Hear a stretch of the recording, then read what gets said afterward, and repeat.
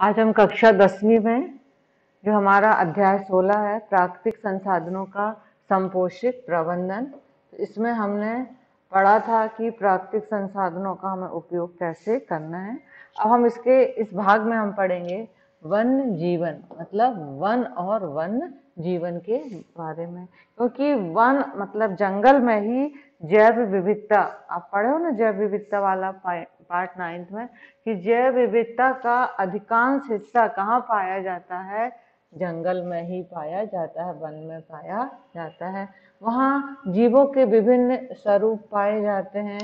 सूक्ष्म जीव से लेकर बड़े जीव तक वहाँ पाए जाते हैं। और हमें वहाँ का वनों का संरक्षण करना है। प्राकृतिक संरक्षण करना है, ताकि वो वन संपदा हमारी नष्ट ना हो। और उसका उपयोग हम आगे तक करते रहें। तो स्टेक होल्डर मतलब जो जंगल है, जो वन है तो जो वहाँ की संपत्ति है, पहले बहुत दिनों पहले तक ये जंगल फ्री मतलब स्वतंत्र थे और उन पर जो आसपास जो स्थानीय लोग रहते थे, वही जंगल की प्राप्त पदार्थों का उपयोग कर लेते थे। लेकिन अब हमें वन की संरक्षण करना है क्योंकि ऐसे में क्या होगा, किसी को लकड़ी की आवश्यकता, उसने लकड़ी ले ली, किसी को वहाँ के जो बड़े बड़े वृक्ष हैं, वो काट कर अपने मनपसंद वृक्ष लगा लिए।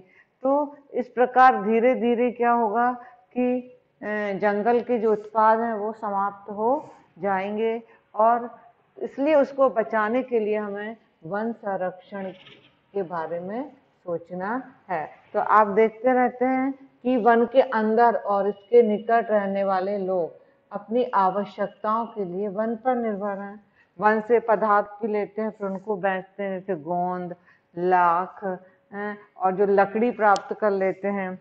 और कुछ सरकार का अब एक वन विभाग बना हुआ है तो वो वनों से प्राप्त संसाधनों का क्या करते हैं? नियंत्रण करते हैं सरकारी स्तर पर।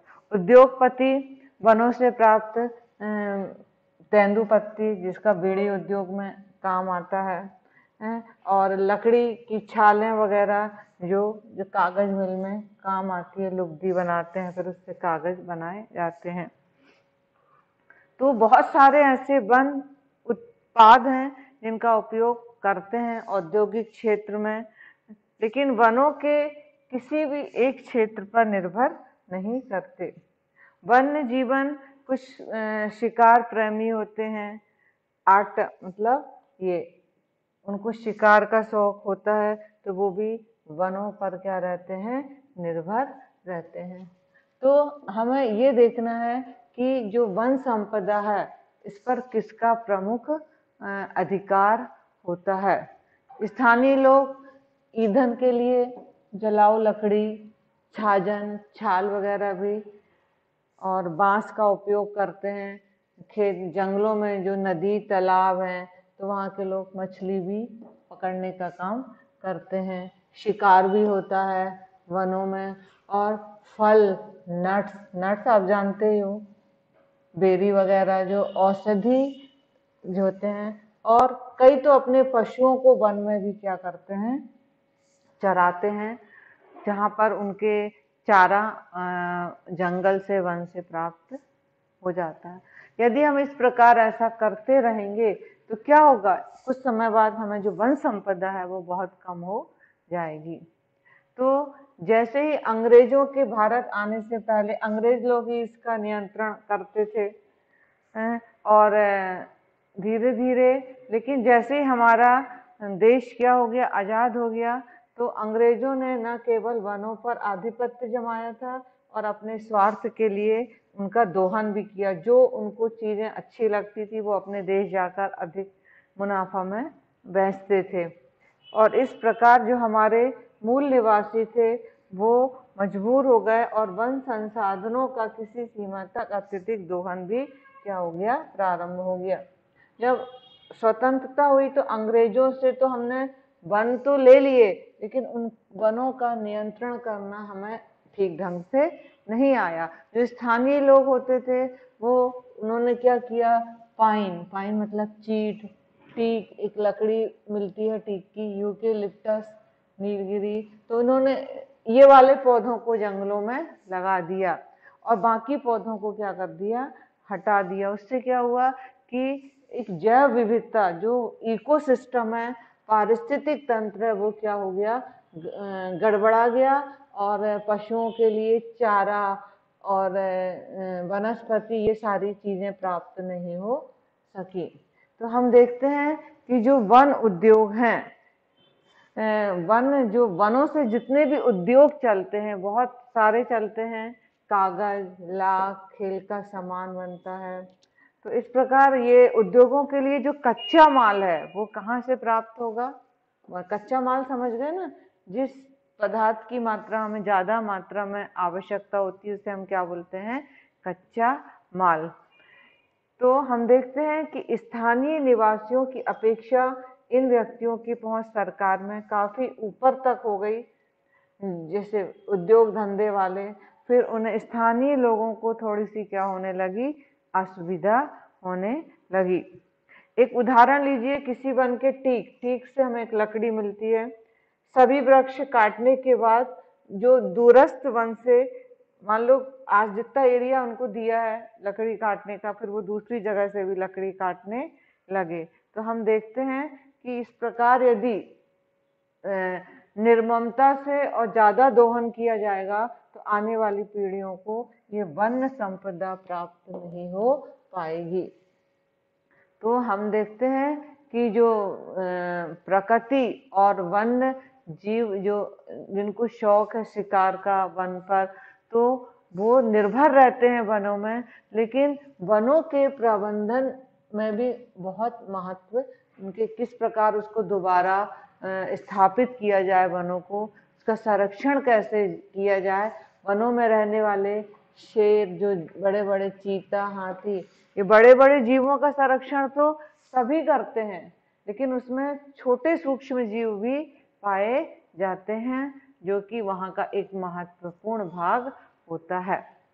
हम देखते हैं कि राज, राजस्थान के एक विष्णोई समुदाय में क्या हुआ कि उन्होंने वन जंगलों को पेड़ पौधों को बहुत महत्व दिया और वहाँ पर एक अमृता देवी बिश्नोई थी जो कि पेड़ पौधों को, जंगल में बड़े बड़े वृक्षों को बचाने के लिए उनकी मतलब उन्होंने अपनी जान भी गवा दी थी।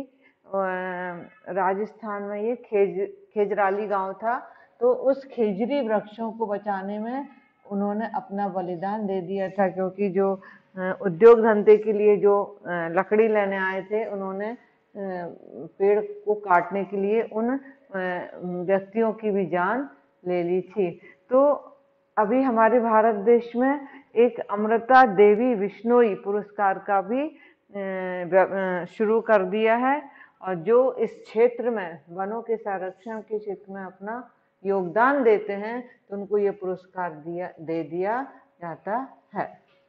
तो इस प्रकार और देखते हैं, हिमालय जो पर्वत है, राष्ट्रीय उद्यान के सुरक्षित क्षेत्र में एल्पाइन के वन है, जो भेड़ों के चरागाह थे भेड़ लोग वहाँ चरने जाती थी और जो चरवाहे रहते थे, वो अपनी भेड़ें घाटी में पूरा चरने के लिए छोड़ देते थे।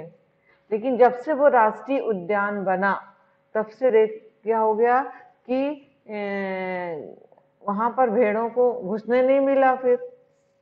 चरवाहा वाला स्थान खत्म हो गया चरागाह तो घासें वहाँ की घास बहुत लंबी हो गई और लंबाई होने के कारण ज़मीन पर गिर गई जिससे नई घास की वृद्धि रुक गई। तो कभी कभी किसी भी एक चीज़ में परिवर्तन करने से उसका प्रभाव दूसरी ओर भी चला जाता है। तो हमें स्थानीय निवासियों को बलपूर्वक रोकने की प्रबंधन जो नीति है, वो लंबे समय तक सफल नहीं हो पाई। तो हम देखते हैं कि इस प्रकार जो वन पारिस्थितिक तंत्र में यदि उसमें हम एक भी परिवर्तन करते हैं, यदि वो परिवर्तन अच्छा नहीं है तो उसका दुष्प्रभाव हमें पड़ता है।